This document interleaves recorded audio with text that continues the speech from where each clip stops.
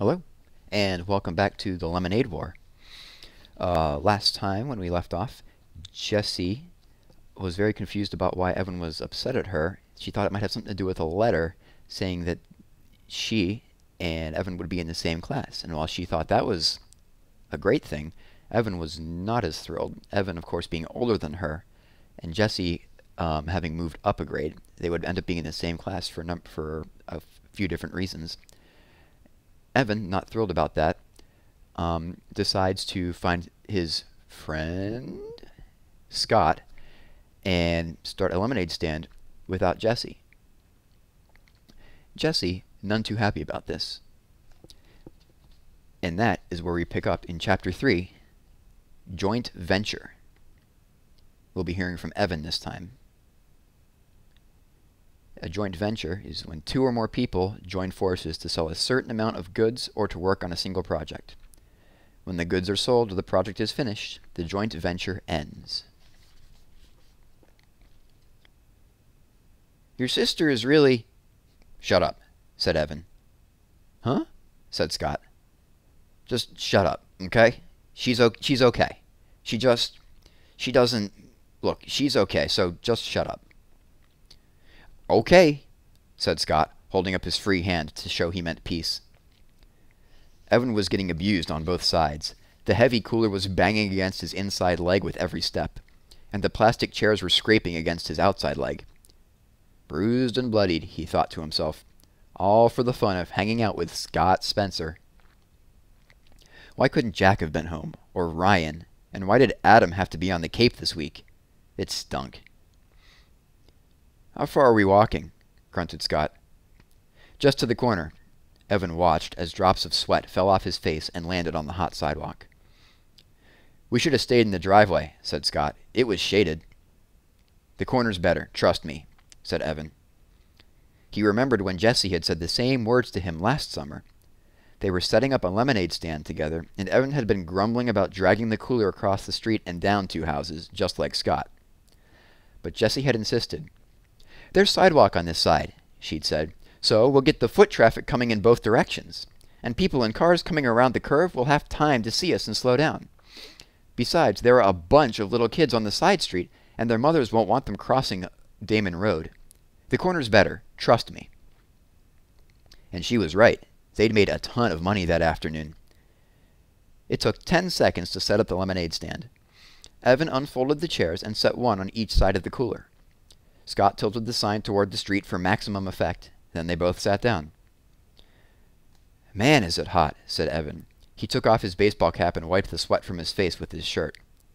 Then he grabbed an ice cube from the cooler, balanced it on his head, and stuck his cap back on.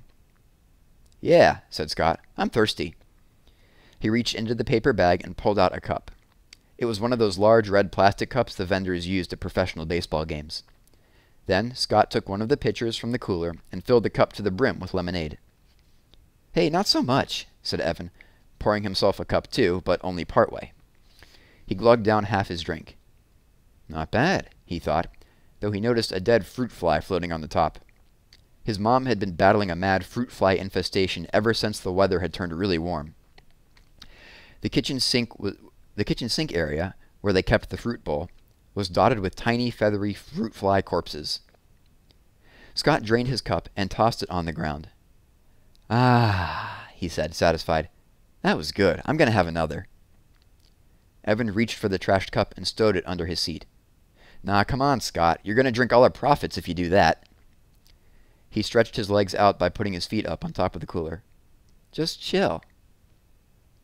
I'm going to chill by having another cup, said Scott. There it was, that mean bite in Scott's voice. Evan's shoulders tensed up. Move your feet, said Scott. It's hot out here. Dude, you're... Evan sat up expectantly and looked down the street. Hey, here comes our first customer. A mother pushing a double stroller came into view. At the same time, one of the kindergartners from down the street rode her bike up, noticed the sign, and quickly pedaled back to her house. Within five minutes, there was a small crowd of neighborhood kids and pedestrians buying lemonade from the stand. Evan let Scott handle all the money while he took care of the pouring and the sweet talk. That's what his mother called it when a salesperson chatted her up. Trust me, she had once told Evan and Jessie, buying something is only half about getting something. The other half is all about human contact. Mrs. Treski knew about these things because she was a public relations consultant. She'd even written a booklet called 10 Bright Ideas to, to Light Up Your Sales for one of her clients. And Evan was like her. He was good at talking with people, even grown-ups. It was easy for him, so he kept the conversation flowing along with the lemonade. People hung around. Most of them brought, bought a second cup before they left. Evan was so busy, he almost didn't notice Jessie flying out of the garage on her bike and riding down the street toward town. Good riddance, he thought, but at the same time he wondered where she was going. During a lull in business, Evan walked all around the stand, picking up discarded plastic cups. Scott sat in his chair, jingling the coins in his pocket. Man, we are going to be so rich, said Scott. I bet we made five bucks already. I bet we made ten. How much do you think we made? Evan shrugged. He looked at the stack of used cups in his hand and counted the rims. Fourteen. They'd sold fourteen cups so far, and each cup of lemonade cost fifty cents. Evan heard Mrs. DeFazio's voice in his ear. Mrs. DeFazio had been his third grade teacher, and she'd done everything she could to help Evan with his math. If one cup of lemonade sells for fifty cents, and you sell fourteen cups of lemonade, how much money have you made? Word problems. Evan hated word problems. And this one was impossible anyway. He was pretty sure the right equation was 14 times 50. But how was he supposed to solve that? That was double-digit multiplication. There was no way he could do a problem like that. And besides, some of those 14 people had bought refills but used the same cup. How many? Evan didn't know. Still, he knew they'd made a pretty good amount of money. That estimate was close enough for him. How much do you think we could make if we sold it all? asked Scott. I don't know, said Evan. Maybe 20 bucks? That sounded high even to him, but Evan was an optimist. Do you really think? said Scott. Both boys looked in the cooler. Three pitchers were empty. They only had half a pitcher left. You were pouring the cups too full, said Scott. You should have poured less in each one. You're the one who brought the huge plastic cups, you could fit a gallon in one of those, said Evan. Besides, I wasn't going to be chintzy. They're paying a whole half a buck for it. They deserve a full cup. And anyway, we can just go home and make more. My mom has cans of lemonade in the freezer. So go home and make more, said Scott. Oh, yes, your majesty. Oh, high commander, your infiniteness, said Evan. Why don't you go make it? Cause I'm chillin', said Scott, leaning back in his chair with a stupid grin on his face. Evan knew he was just joking, but this was exactly why he didn't like Scott. He was always thinking of himself, always looking for some way to come out on top. If they were playing knockout, Scott always came up with a new rule that helped him win. If they were doing an assignment together, Scott always figured out how to divide it so he had less work to do. The kid was a weasel, no two ways about it. But everyone else was out of town.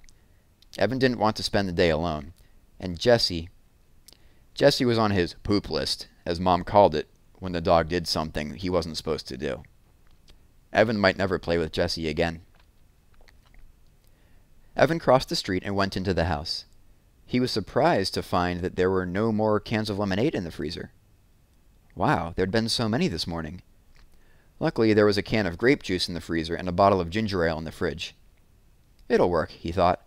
People just want a cold drink. They don't care if it's lemonade. He mixed up the grape juice at the sink. The fruit flies were more out of control than ever, thanks to the lemonade the boys had dribbled on the countertop. Evan swatted a couple, but most of them drifted out of his reach and settled on the fruit bowl. He wished his mother believed in chemical warfare, but for Mrs. Treski it was all natural or nothing. Usually nothing. When he came back outside to the lemonade stand, Evan noticed that the last pitcher was turned upside down on the cooler. Aw, oh, come on, Scott, he said. What? said Scott. It was hot, and you said we could always make more. Yeah, well, Evan said, we didn't have as much in the house as I thought. I've got grape juice and ginger ale. I hate ginger ale, Scott said. I wouldn't give you a penny for it. It turned out that a lot of people felt the same way. Business was definitely slower. The day got hotter. The sun beat down on them so ferociously that it was easy to imagine the sidewalk cracking open and swallowing them whole. Fanning himself, Evan asked, How much money do you really think we could make? I don't know, said Scott, pushing his baseball cap down over his eyes. I mean, on a hot day like this, Evan said, silently adding the words, or tomorrow. If we sold eight pitchers of lemonade, what do you think we'd each make? Eight pitchers? I don't know. Scott shook his head. His baseball capped face wagged back and forth. Too hot for math, and it's summer. Evan pulled the red pen out of his pocket and started to write on the palm of his hand. Eight times. Hmm? Eight times fifty divided by two? That didn't seem right. Jessie would know. She'd do that math in a second. Evan capped the pen and jammed it into his pocket. But I bet it's a lot, said Evan. I bet on a hot day like this, we could actually make some real money in the lemonade business. Yeah, said Scott. Then we'd be rich. And I'd get an Xbox, the new one, with the dual controls. I'd get an iPod, said Evan. He'd been saving for one for over a year. But every time he had some money put away, well, it just disappeared. Like the $10 from Grandma. She'd even written in her card, Here's a little something to help you get that music thing you want. But the money was gone. He'd treated Paul and Ryan to slices of pizza at Townhouse. It had been fun. That would be so great to listen to music whenever I want, said Evan. I could tune you out, he added in his own head. They sat in silence, feeling the heat suck away every bit of their energy. Evan was hatching a plan. The heat wave was supposed to last at least five days. If he and a friend, not Scott, set up a lemonade stand every day for five days, he'd definitely have enough to buy an iPod. He imagined himself wearing it as he walked to school, wearing it on the playground. Hey, Megan, yeah, it's my iPod. Sweet, huh?